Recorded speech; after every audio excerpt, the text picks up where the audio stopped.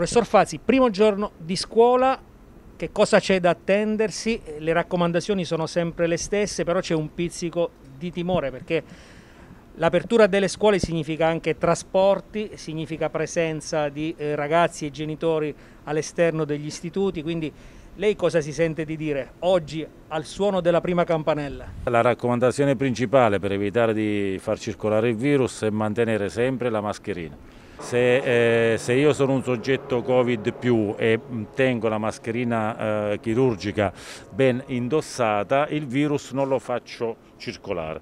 Al momento c'è ancora, parlo dell'Abruzzo, ma in generale dell'Italia, una situazione di bel tempo. Sappiamo benissimo che con il caldo il virus circola pure meno quindi eh, diciamo meglio così in quanto queste prime giornate che sono sempre quelle più difficili da gestire per tutta una serie di motivi potrebbero essere comunque delle giornate di, di prova, di rodaggio in modo tale che quando forse il virus probabilmente circolerà di più diciamo tutto il sistema magari a regime.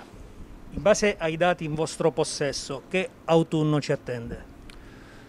Allora, attualmente la situazione è abbastanza tranquilla o relativamente tranquilla. Il problema è che con, con, con, il freddo, lo sappiamo, il virus riesce a superare le nostre barriere mucose, e, diciamo, riesce a bypassare il nostro sistema di immunità innato che funziona bene d'estate e meno bene d'inverno e quindi riesce a dare più infezione, soprattutto riesce a dare diciamo, clinica, quindi dei casi più o meno sintomatici.